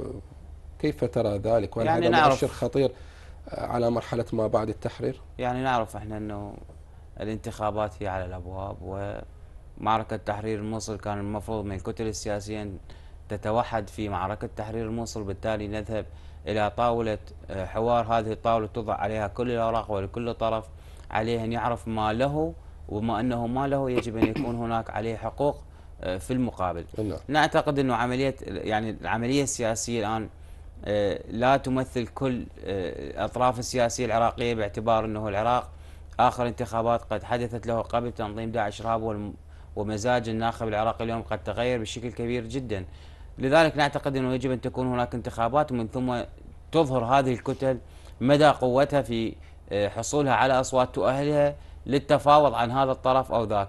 لذلك نعتقد على آه، يعني الكتل السياسية أن تتفق على أنه كل الأمور تجمد إلى ما بعد. انتخابات بعض الانتخابات من يمثل الشارع هو الذي يتفاوض عن الطرف الذي يعني اليوم لا أعتقد يعني كل الأطراف العراقية سواء التحالف الوطني أو اتحاد القوى أو حتى الاتحاف الكردستاني لو أجرت يوم الانتخابات ستتغير كثير من الخارطه السياسية. بالتالي يجب أن نتجه إلى اتجاهات إنه تكون هذه الكتل السياسية. نعرف حجمها الحقيقي يعني كثير من الكتل أعتقد إنه ستتغير حجمها السياسي. بالتالي يجب أن لا تعطى حجم أكبر مما هو حجم عليه الآن. اليوم تسابق سياسي للوصول إلى مزاج الناخب ولركب صهوة النصر باعتبار كما تعرف القاعدة تقول إنه للنصر آباء كثيرون ولكن الهزيمه يتيمة. نعم. لكن يبدو أنه اليوم ال- الكتل السياسية وفي البيت الواحد نجد أن هنالك توتر وليس ال- الفرقاء السياسيين فيما بينهم. أيضا حزب الدعوة يتوعد السيد مقتدى الصدر من خلال تغريدة على تويتر يحيي موقف العشائر ومن آه، ساهم برفض وجود ال- المالكي في آه، البصرة وفي الناصرية أيضا كيف تقرأ هذه التوترات داخل البيت الواحد؟ يعني التوترات موجودة في كل الأطراف أستاذ عزيز موجودة في التحالف الكردستاني أيضا سباق محموم وخطير جدا ما بين آه، الاتحاد الوطني وكتلة التغيير من جهة والجماعات الإسلامية وما بين حزب الديمقراطي ألم يبدأ هذا السباق. مبكرا؟ الانتخابات بعد السنة نعتقد سنة إيه يعني يعني اليوم الحزب الديمقراطي الانتخابات بدأت حتى في الموازنة الاتحادية تقرت وضحت عليها الجنبة السياسية في كل ال- الأطراف. نعتقد اليوم أنه آه، يعني ال- الأحداث الأخيرة في مدينة البصرة تؤشر مؤشر خطير باعتبار أن مدينة البصرة هي أخطر مدينة عراقية. كما يقول ال- المثل أنه سلة العراق التي تأتي له بكل موازنته وبكل اقتصاده تأتي من محافظة البصرة لذلك لزاما على كل الأطراف السياسية يجب أن يشرع قانون من أن تكون محافظة البصرة هي محافظة منزوعة السلاح وبعيدة عن كل الجدالات السياسية. نلجأ إلى صندوق الانتخابات وبالتالي صندوق الانتخابات هو من يحكم. نعتقد أن هناك آه، صعوبة من جانب التيار الصدري في عملية إصدار تصريحات خطيرة جدا وكذلك من حزب الدعوة التصريحات لم تكن على عامل تهدئة وإنما كانت عامل الانفعال والتعصب في هذا الموضوع وبالتالي لا أعتقد أنه هذا الصراع يخدم آه، كل التحالف الوطني أو حتى جمهوره، بالتالي مدينة البصرة مدينة خطيرة جدا قريبة من آه، الخليج وقريبة من الكويت وقريبة من إيران، ونعرف إن مدينة البصرة لديها خطط سياسية وخطط اقتصادية تريد الكثير من الدول الإقليمية التأثير على هذا الجانب، لذلك على السياسيين أن يحتكموا وأن يأخذوا محور آخر وأن يركبوا إلى آه، جناح التهدئة وترك الموضوع إلى صندوق الانتخابات وهو من يحكم بين الكتل السياسية لما لها ولما عليها وبالتالي نأخذ بهذا المحاور أن نحتكم إلى العقل السياسي وليس إلى السلاح هذا التوتر ما بين الأحزاب السياسية هل من الممكن أن ينتقل للقاعدة الجماهيرية لكل حزب من الحزبين؟ بالتأكيد وما حدث هو هذا الذي ذكرته أنت يعني التوتر السياسي نعرف أنه ما بين التيار الصدري كزعامة السيد مقتدى الصدر وما بين السيد المالكي رئيس ائتلاف دولة القانون ورئيس حزب الدعوة. يعني ليس وليد الصدفة. يعني من بعد ال- الانتخابات الأخيرة كان هناك الكثير من التجاذبات السياسية والكثير من الاحتكاكات السياسية ما بين هذه الأطراف. لذلك نعتقد أنه يجب أن يلجأوا لعامل الحوار ويجب أن يكون التحالف الوطني ورقة ضاغطة باعتبار أنه يجب أن تكون هناك التحالف الوطني يمثل كل هذه الأطراف. نعت... اليوم نجد أن التحالف الوطني ليس لديه أي موقف في عملية التواصل وتهدئة الأطراف أو زيارة أو عملية سياسية لم تأتي بهذه الأخبار وإنما تركت هذه الأطراف. نعتقد أن بعض الأطراف السياسية بالتحالف الوطني تريد هذا النزاع السياسي باعتب- باعتبار أنه سيصب مصالحها انتخابيا وبالتالي تؤثر في العملية السياسية. بالتالي نعتقد على التحالف الوطني أن يفهم معنى اللعبة السياسية ولا يرتجب إلى حرب الشوارع وبالتالي تكون دماء هذه الدماء سيدفعها ابن الفقير فقط. إذا برأيك من الممكن أن تتحول ربما إلى حرب شوارع يعني الاحتكاكات اللي استمرت بهذه التصريحات وإذا استمرت من هذه ال- الدفع والتمحور السياسي والاحتقان السياسي وقد نلجأ بالأيام القادمة إلى محاكمات ونعرف إنه كل هذا الذين تظاهروا أيضا هم منتمين إلى عشائر ولا أمور أخرى وبالتالي حتى هذه الأمور تضغط باتجاه آخر ومدينة البصرة هي أصلا ال- الوضع الأمني بها غير مستقر. نعرف إنه الكثير من عمليات الخطف والقتل وحرب ما بين آه، بعض العشائر على مسائل بسيطة جدا.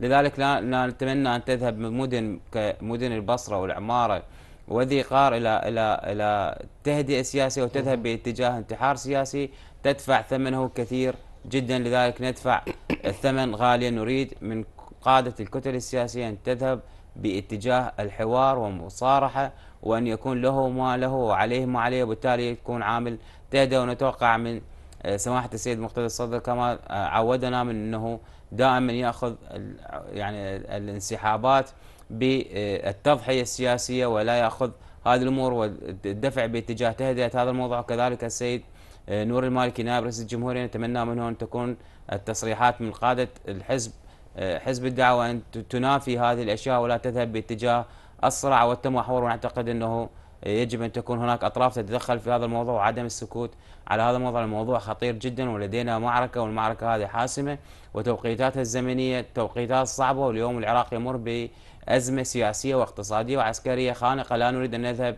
باتجاه معارك جانبية تؤثر على كل الوضع العراقي. لكن يبدو أنه لحد الآن حزب الدعوة الإسلامية ماضي نحو التصعيد طيب أنت كيف تفهم من حزب سياسي المفروض هو يكون آه، على درجة من الوعي والثقافة والسياسي المفروض يكون جزء من نخبة المجتمع وحزب سياسي المفروض يكون جزء من الحكومة بالتالي هو يمثل الحكومة ويمثل القانون ويحترم القانون وهو يمضي نحو التصعيد ويقول مثل ما عندكم عندنا ما يعني- أريد يعني أقول نفس الكلام اللي ياخذوهم. يعني, يعني كيف ممكن أن تصل الأمور إلى هكذا مستوى وهكذا تصريحات تصدر من من حزب يمثل الدولة؟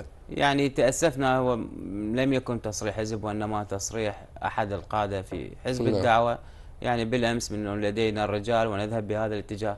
تأسفنا من هذا التصريح باعتبار أنه كل أبناء الشعب العراقي هم أبناء وطن واحد وحتى الناس الموجودين في هذه المناطق هم أبناء فئة واحدة. لا نريد أن نذهب باتجاه لدينا الكثير من الشهداء ولدينا الكثير من الجرحى ولدينا الكثير من الأرامل ولدينا الكثير من الأيتام. ويجب أن نذهب باتجاه مداواة جراحنا وليس باتجاه فتح جروح جديدة تؤذي الشارع العراقي. يجب أن نذهب باتجاه التهدئة السياسية والتنازل السياسي ونترك الصراع السياسي لصندوق الانتخابات هو من يحكم بالأطراف والقضاء. يجب أن يأخذ مجراه في هذا الموضوع. طيب اليوم بالبيت الشيعي أكو توترات على المستوى الجماهيري الشعبي وعلى المستوى السياسي. فيما يختص بالبيت السني والمحافظات السنية أكو تخوفات من عمليات ثأر ما بعد عملية تحرير الموصل ممن كانوا ينتمون لداعش ومن ضحايا داعش. احتمال يحدث تقاتل أيضا. كثير من الاحتماليات سني سني ونتمنى انه ما تحدث في في أي بيت من البيوت العراقية أو في أي مكون من المكونات العراقية. الأوضاع السياسية في كردستان أيضا هي غير مستقرة. بالتالي بالمحصلة النهائية بالمستقبل القريب المنظور هل السلم المجتمعي في العراق مهدد؟ حقيقة وفي قراءاتنا السياسية نجد أن هناك آه، حقيقة ورقة تهديد في هذا الموضوع قد بانت بوادرنا نعتقد كلما قربت الانتخابات كلما هناك احتكاك سياسي سياسي سوف يكون أصعب في هذا المحور. لذلك يجب أن تكون هذه الأطراف واعية لما يحدث ويجب أن آه، تغلب مصلح مصلح مصلحة المجتمع على مصالحها الشخصية وعلى مصالح كتله السياسية والابتعاد عن هذه المحاور. نعرف أن الكثير حتى من الأطراف الموجودة في اتحاد القوى هناك اختلافات سياسية حادة جدا وهذه الكتل بدأت تتمحور منذ الآن حتى اتحاد القوى بدأ ينقسم إلى ثلاث كتل أو أربعة والتمحور باتجاهات أخرى وكذلك في إقليم كردستان بدأ المواطن في كردستان يضغط اقتصاديا ويضغط من آه، عملية التصريحات واليوم نجد أنه النائبة سروة عبد الواحدية ممنوعة من دخول مدينة أربيل بسبب تصريح إعلامي بسيط جدا قد جوبها بحركة سياسية وليس حركة بالمعنى آه، الأصح كانت حركة آه، انتقادية. بالتالي نذهب إلى عملية تهديد للسلم المجتمعي لا نعتقد أنه آه، ال- العراق اليوم هو في مركب واحد. تهديد أي طرف منه سيغرق الوطن جميعا. يعني تأثير في كردستان سيؤثر على بغداد وسيؤثر على البصرة والتهديد في البصرة أيضا يؤثر على التهديد في الأنبار ويؤثر على التهديد في الموصل. هل من الممكن أن يؤثر هذا التوتر السياسي على العمليات العسكرية في نينوى؟ لا أعتقد يعني التوتر السياسي موجود في كل معارك الأنبار والفلوجة ومعركه صلاح الدين ولكن ال- القادة العسكريين بعيدين عن هذا التمحور السياسي ولا ولا يوجد ما يعنيهم في هذا ال- الحراك السياسي. هم قادة محترفون يذهبون باتجاه احتراف المعركة ولا يهمهم في هذا الموضوع. نعتقد يجب أن يديروا ظهورهم لكل انتماء سياسي يذهب باتجاه تمحور أو اتجاه تأثير على معنويات حتى الجند العراقي نذهب باتجاه معركة حاسمة نحرر أراضينا من ثم نجلس لتصحيح أخطائنا علينا نعترف كعملية سياسية هناك الكثير من الأخطاء وقد شابه الكثير من ال- الاختلافات السياسية. لذلك يجب أن نذهب بهذا المحور ونجلس على طاولة حوار نحل كل مشاكلنا. طيب اليوم عندنا مشروعين للتسوية مشروع تسوية يقوده التحالف الوطني ومشروع ال- التسوية اللي اللي يسمى بالمواطنة اللي اللي يقوده اليوم واللي عرضه اتحاد ال- القوى. بالتالي ممكن أن تكون واحدة من هاي المشاريع هي حل التوتر السياسي والجماهيري اللي موجود اليوم آه، في في البصرة في كردستان في المحافظات التي كانت تحت سيطرة داعش. يعني التسوية اليوم آه، سميت بأسماء مهولة منها يوم قول أنه تسوية تاريخية. التسوية التاريخية أستاذنا العزيز تذهب باتجاه أنه تكون التسوية لها معنى الخاص. يعني لا تذهب باتجاه تسوية تاريخية أنا أعتقد اليوم الأطراف العراقية كأطراف مجتمع هي متحاربة في هذا الموضوع. التسوية التاريخية قد حدث في اتفاق جدة عام 1982 في لبنان باعتبار أنه كثير من الأطراف قد تصارعت وقاتلت. فيما بينها وبالتالي كانت هي حرب آه، داخل المدن وحرب استنزاف ذاهبة بهذا الاتجاه.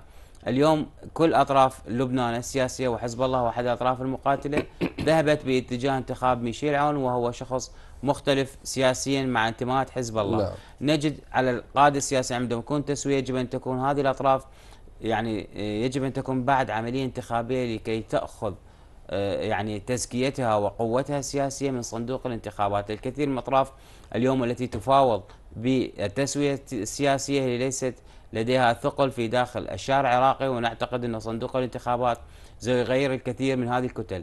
التسوية يجب أن تذهب باتجاه تعديل العملية السياسية من ألفها ويجب أن نذهب إلى تنازلات من كل الأطراف لا يكون تنازل على جهة واحدة أو طرف واحد. يجب أن تذهب باتجاه تنازلات من كل الأطراف ويجب أن تكون هذه التنازلات أعتقد موجعة. لذلك هي تبعد كل آه، السياسيين عن هذا المحور ونعتقد إنه يجب أن تبدأ العملية السياسية يعني بضخ دماء جديدة تكون عامل دافع وحركة شبابية تأخذ مجالاتها في العملية السياسية وبالتالي نذهب إلى مصالحة حقيقية ترتكز إلى عوامل قوية وتغييرات في القوانين وفي التشريعات ومن ثم نذهب إلى آه، سلم مجتمعي يكون أمتن من تكون ورقة موقعة ما بين أطراف ونعتقد إنه عملية التوقيع في هذه الأطراف قد هذه أعتقد المرة الرابعة أو الخامسة عبارة عن مؤتمرات ويوقعون ويذهبون ولا ينفذ من هذه المصالحات سوى حبر على ورق. هل تعتقد أن التحالف الوطني سيمضي باتجاه حلحلة ال- ال- التوتر والأوضاع ما بين حزب الدعوة والتيار الصدري؟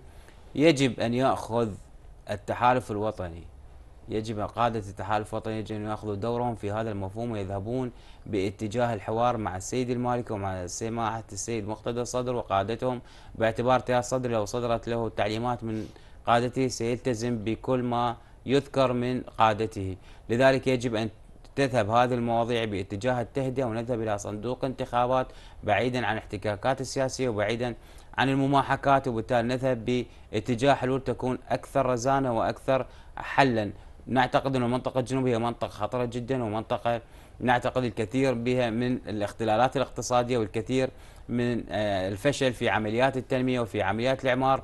بالتالي هذا الضغط الموجود وعوامل البطالة تؤثر على الشعب العراقي ويجب أن يفهموا نفسية المواطن العراقي اليوم قد تغيرت ليس كما قبل يعني عام 2012 بعد عملية دخول 2014 عفوا بعد دخول تنظيم داعش. الإرهابي. يجب أن يفهم النفسية العراقية اليوم متغيرة مضغوطة صور الشهداء تمتلئ كل شوارع آه، مدننا والجرحى وضغط اقتصادي على المواطن بطالة ماحقة. يجب أن تفهم القادة السياسيين أنه هذه العوامل تؤثر على المواطن العراقي يذهبون باتجاه الضغط على المواطن وهو أصلا مضغوط بالتالي هل تعتقد أن مخرجات صناديق الاقتراع ستحمل معها الكثير من التغييرات في المشهد السياسي العراقي؟ يعني توقعاتنا الشخصية إذا خرج المواطن العراقي إلى صندوق انتخابات سيغير اليوم الجرح صعب جدا ليس كما كان سابقا من عمليات تسويقات إعلامية وتسويقات نعم. حزبية وعملية الاستفادة آه، من الموازنة في عملية البث وشراء الكثير من الرؤوس في العملية السياسية اليوم ال- الموازنة خاوية لا تمتلك الأحزاب تلك الموازنات القوية في عملية الصرف وليس هناك ما يوجد من درجات وظيفية وليس هناك ما يوجد من آه، يعني تجاذبات سياسية ممكن يستفيد من ذاك الطرف أو هذا. نعتقد أن المواطن العراقي يجب أن يوعي الفكرة ويجب أن يفهم العملية السياسية جيدا ويجب أن لا ينتخب ومن ثم يعاود لكي يندب حظه. يجب أن ينتخب جيدا لكي لا يندب حظه في مرة أخرى. ذكرت أنه إذا خرج المواطن العراقي للانتخاب فإنه راح يغير. أكو شك أنه احتمال الإقبال على الانتخابات راح يكون ضعيف يعني- خصوصا في هاي الأجواء من التوترات والعمليات العسكرية. يعني اليوم المواطن حسب ما نستقرأ من خلال صفحات التواصل الاجتماعي ومن خلال آه، يعني اقترابنا من الشارع العراقي هناك يعني عزوف نفسي عن المشاركة في عملية الانتخابات وأن المواطن العراقي اليوم محبط. بال 2014 نفس الحالة. يعني كانت نسبة المشاركة ضعيفة في 2014 نعم. كانت المشاركة أيضا نسبة ضعيفة ليس بتلك النسبة. أعتقد 45 أو 44 كانت نسبة المشاركة وهي نسبة ضعيفة جدا على المواطن العراقي أن يخرج وأن يترك إحباطاته لكي نغير ولكي نذهب باتجاه آه، يعني كتل سياسية قادرة على عبور مفهوم الطائفية وكتل سياسية لم تجرب سابقا و قاعدة يعني أطلقتها المرجعية الدينية من أنه المجرب لا يجرب ويجب أن نذهب باتجاه تغيير واتجاه نتحمل قراراتنا السياسية لكي ننتخب بشكل جيد جدا وأن نخرج للانتخابات وأن نذهب باتجاه التغيير. دكتور مهند الزبيدي شكرا جزيلا لك ضيفي العزيز. على تواجدك معنا اليوم بالبرنامج. والشكر لكم أيضا أعزائنا المشاهدين لمتابعتكم تغطيتنا لهذا اليوم. شكرا وإلى اللقاء.